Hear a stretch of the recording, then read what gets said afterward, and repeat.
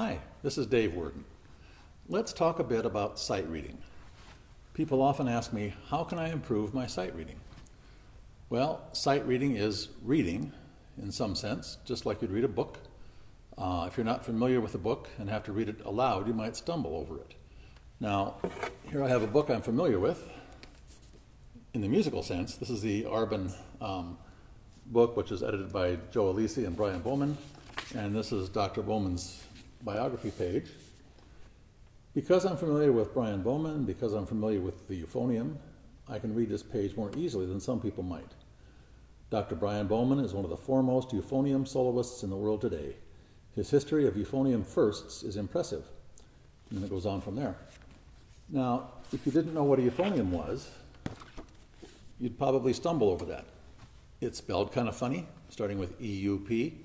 Um, but if you're familiar with other words, euphonic, um, for example, which means pleasant sounding, then you might be able to read that more easily. So, with re- reading words, we first learn words like cat and dog, which are very simple. Then we learn to put them together with other words, the cat, the dog. Music works the same way. Probably anybody watching this tape knows all the notes that they have to deal with. But how do we put them together when we're sight reading, when we don't know the piece we're playing? Like anything else, you need to be familiar with note patterns. So during your warm up, you should be working on scales, obviously, that's a standard thing for warm ups. But don't play the same scales every day, and I suggest not reading them out of a book. Once you know what the scale is, try to play it out of your mind and put it in different octaves or extend the scale a little bit. So take a B flat scale or a C scale in treble clef. The basic scale is this.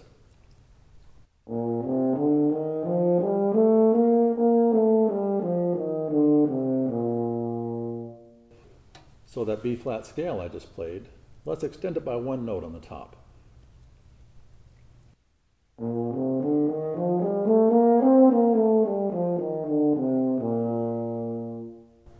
Now that does a couple of things. First of all, it changes the finger pattern slightly.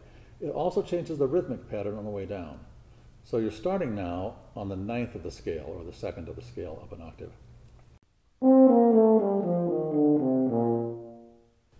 But if you play it the way I played it the first time,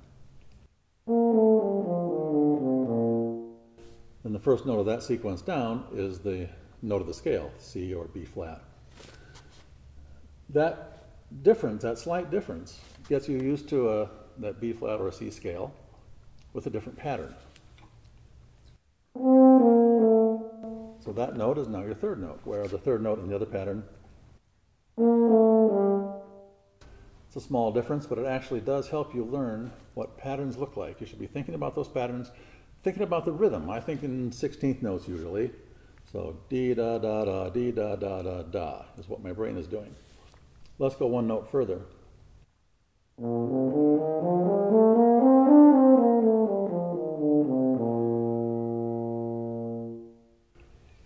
So now I went up to a D concert or E in treble clef, and that again changes the pattern. So I'll play with patterns like that during my warm up. It helps keep my brain fresh. I'll stay with that B flat or C scale for now.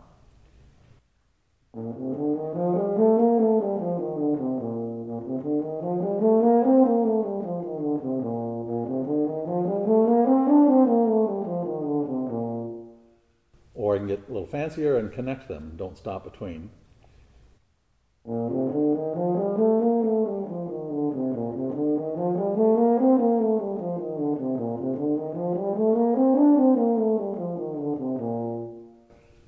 Needed to take a breath there. I'll stop and continue on from the same point in the pattern.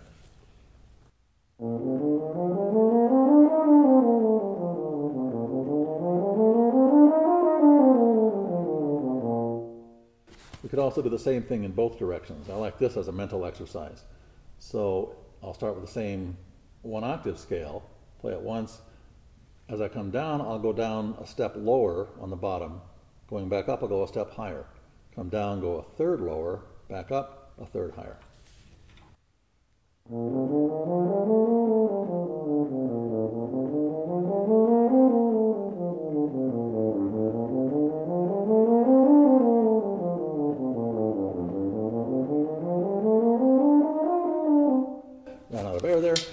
That's how I work. So that way I've got my brain engaged and I'm playing different patterns, assembling the scale in different ways. And I'm still only slurring, I'm still only playing straight eighth notes or sixteenth notes, depending on how you think of it. In the easiest scale we probably have. So if you move that up a half step, all of a sudden the brain has to work a lot harder. You should get to know all your scales in ways like that where you're challenging yourself different days with different patterns. There's a multitude of patterns you can come up with. Uh, make up your own. Look in the Arban book or some of the other method books, and you'll probably see some patterns in there. This is kind of a common pattern. I'll add some tonguing in here as well.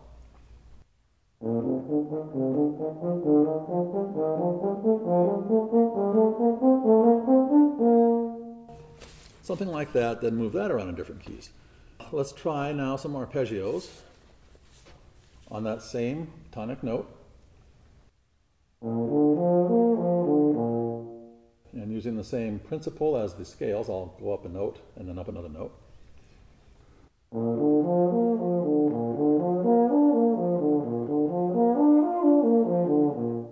Now I'm going to vary that a little bit more. As I did with that scale example, I'll start with my octave. Then I'll, when I'm going up this time, I'll go the extra note. Coming down, then I'll go a matching one extra note. Going up, I'll go two extra notes. Coming down, two extra notes. Stop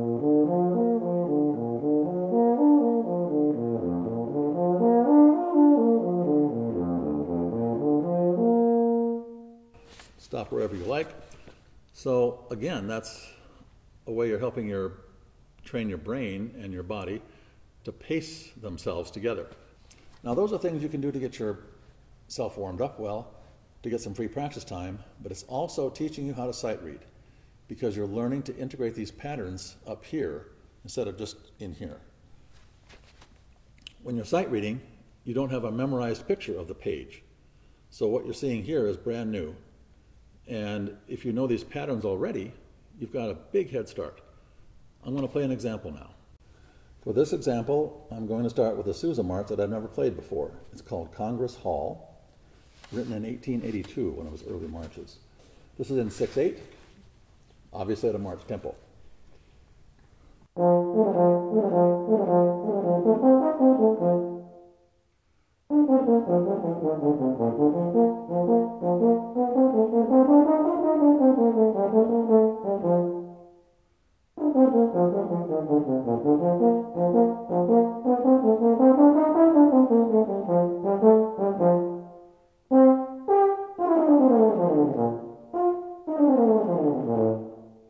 mistake right there.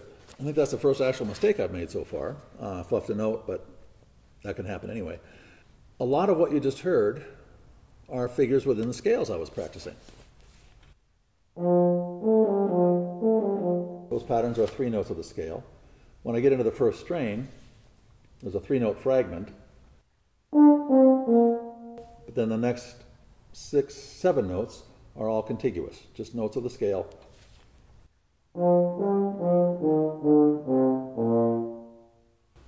And then back to the introduction, the fourth measure is an arpeggio. In this case, it's a dominant seventh, we would call it, where you've got the one, three, five, seven notes. There are pages of exercises for those notes or that pattern in the Arban book. Uh, you'll learn a lot from the Arban book. In fact, if you knew the entire Arban book inside and out, you'd be a really great sight reader by now. In the first strain, next we have that B flat arpeggio I just worked on as part of the warm up. And then back to scales with a small chromatic thrown in.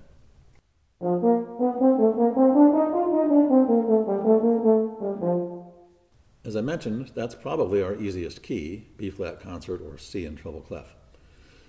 If a sight reading piece were in the key of concert E, which would be F sharp for treble clef, that's getting into quite a few sharps either way and be a little harder to sight read, but not nearly as hard if you've been working on E scales or F sharp scales during your warm up, trying different patterns with them, being familiar with different ways to lay out the scale, starting at different points in the scale, and so on.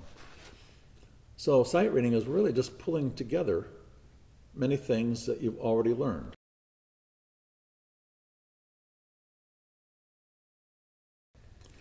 I have another Sousa march here. Again, it's one I haven't played. It's called Across the Danube. This one starts in two flats in treble clef. At the trio, it goes to three flats. Across the Danube is also a 6-8 march, just as the previous one was. This one starts with grace notes. Now, before you start playing the piece you're sight reading, usually you have time to look it over, even briefly. In a community band rehearsal, you certainly would. In a sight reading audition, you can take a few seconds to look before you start to play. You shouldn't take too long, but a few seconds is fine. That would tell me I need to be ready for the grace notes at the very beginning of the piece. They don't show up again. Uh, nothing in the rest of the piece looks terribly challenging.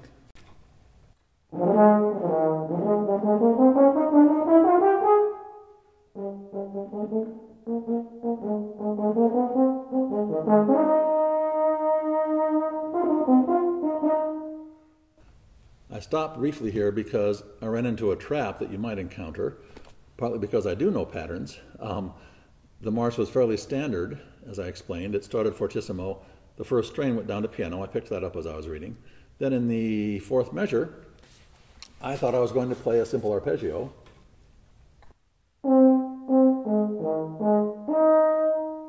But that last note skips one of the notes in an arpeggio.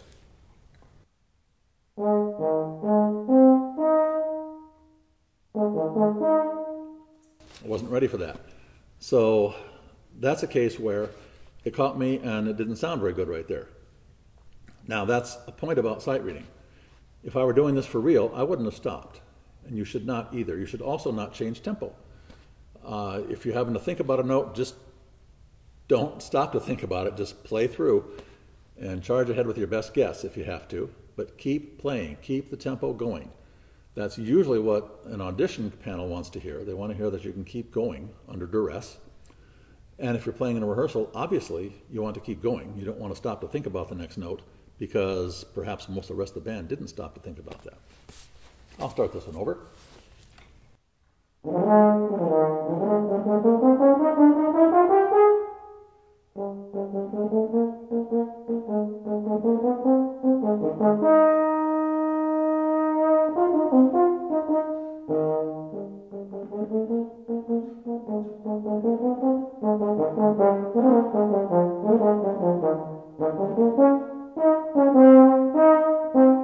Stopping there again because we had an arpeggio, but it was one of those dominant seventh shape arpeggios, one, three, five, seven.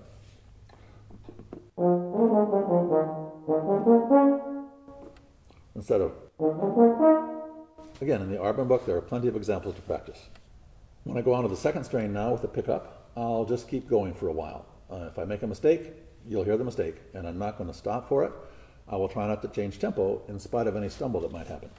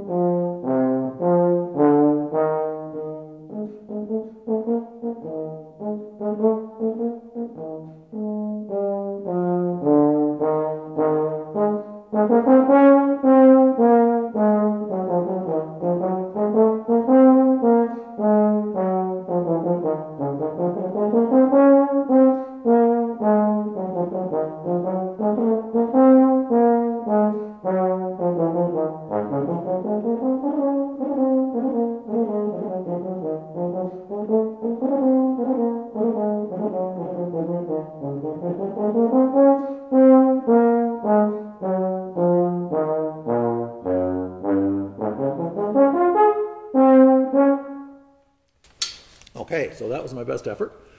However, there was one tricky part that I missed, and I happened to sight read it okay as we got to it.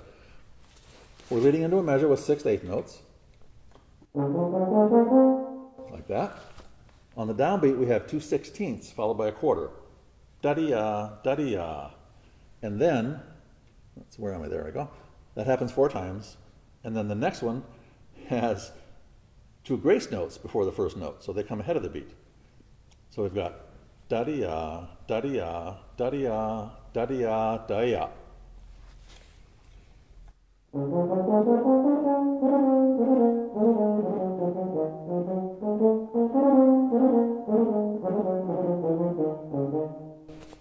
A little bit tricky. I haven't actually seen that in the Sousa march that I recall.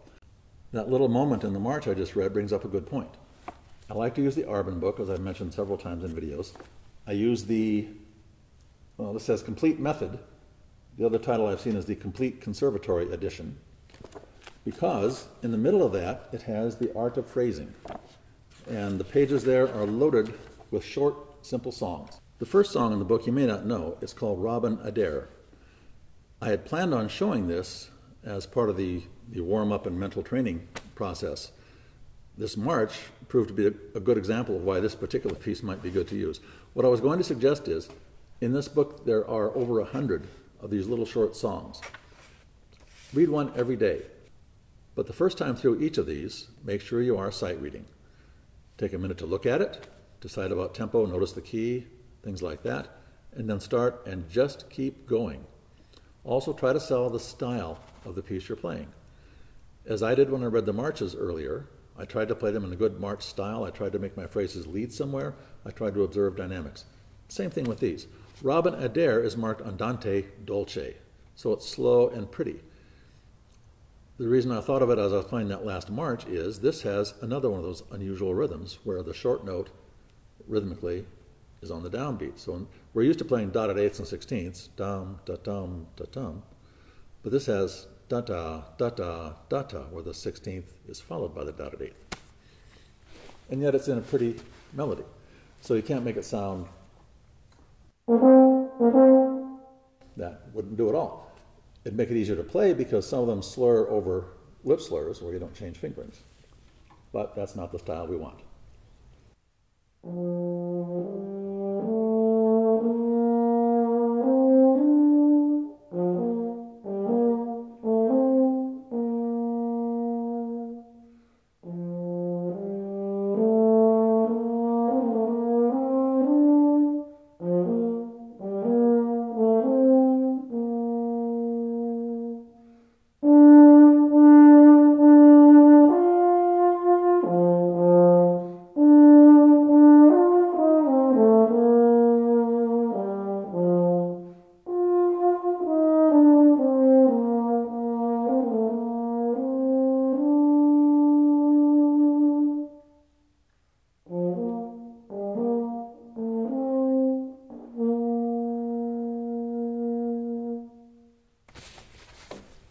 Looks pretty easy when you glance at it.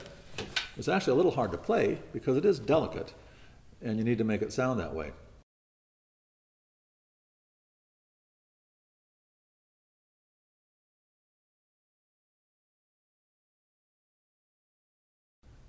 As I'm talking along now, I'm assuming that this is the point in your practice where you're warmed up. So now you're practicing exercises that will help you uh, with things you need to do. This particular one is number 69 in that same Arban book I was talking about. It's called Articulated Arpeggios. And it goes through the one chord and the five seven chords. So in this case, it's a B flat that starts the page out, B flat concert, or C in treble clef. So you've got the standard B flat triad, B flat D F, or C E G in treble. Then the second half of each line goes to the 5 7 chord. So that's the dominant seventh chord, the chord that wants to normally lead you back to where you started on the one chord. That's an F7 chord, or F, A, C, E flat, or in treble clef, G, B, D, and F.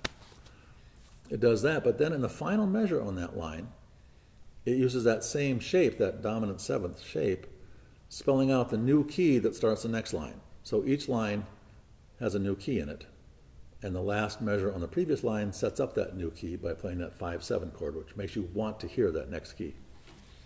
So it's a good way to get your mind used to those transitions, and also just by rote, learn these one chords and five chords in a whole slew of keys here on this page. In the case of this exercise, it takes you through 12 keys and then right back to where you started on the 13th line. So it's a good way to get used to progressions, to learning where key changes are coming, how they might be set up as you play the notes, and also sometimes those key changes happen without the signature changing. So the composer might write for maybe two bars in the middle of a section, he might write in a different key. And there could be a lot of accidentals in that part. That's because the key is changing from the signature. So that won't worry you much because you'll know all these patterns, you'll be used to them. So here's how the exercise goes.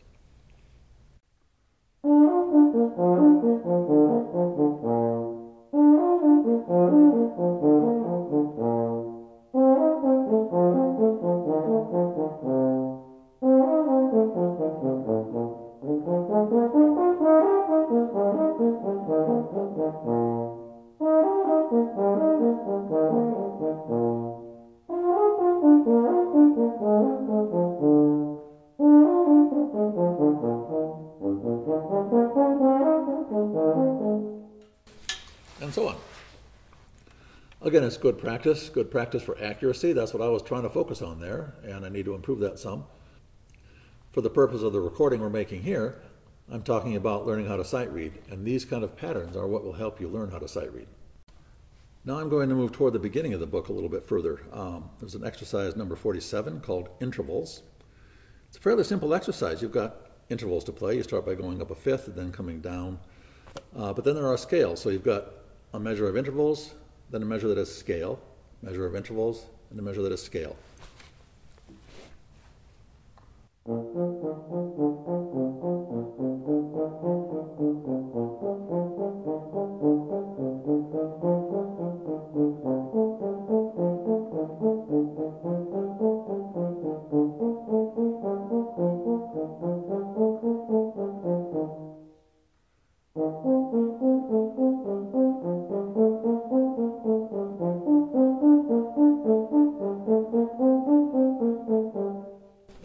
Continues. Now, when I'm doing this kind of exercise, for whatever reason, for helping me get better at sight reading, learning patterns, or for helping me get more accurate, you notice the breath I took in the middle was not in time at all. What I try to do in this case is to finish out the pattern, so that's usually going to the downbeat of the next measure, stopping, taking a breath, and playing that downbeat again as I go on to the next pattern. The concepts we've discussed today are two part. There was a bit about warm up, but that was really a secondary concept. What I was talking about there in the warm up was mostly how to benefit from your warm up time by getting some practice built in there, some learning of patterns and so on. Then the rest of the time we were talking about learning those specific patterns. When you're sight reading music, you need to be able to keep going, as I said, plow ahead. The more of those patterns you know, the more measures will sound really quite good, and the better chance you'll have of guessing what some uncomfortable looking measure is, is going to be when you get there. Above all, be sure you incorporate sight reading practice into your daily practice. It doesn't have to be long. It can be those short little song examples in the Arban book or other more advanced things that you have. But try to get some sight reading in. If you go on the internet, there's a band public domain music library out there where you can download a ton of music, the specific euphonium parts if you want to, or trombone parts or cornet parts good sight reading practice, and they're free. So make use of your time. Um, practice all the things you need to practice, but try to slide in there some sight reading practice. And as you're practicing all the other stuff, try to notice the patterns that are there. So you're not just playing the notes by rote, you're incorporating a concept, a learning up here of how those notes are built, how they're put together. See how that works out for you. I think it'll help. To finish off our conversation here about sight reading, I'm going to sight read the second part of the Congress Hall March by Sousa. I only played the first part earlier. So now I'll play the trio. I'm going to sight read it, as I mentioned, and I won't stop. I'll just keep playing. So it looks very simple. Let's see if I'm right.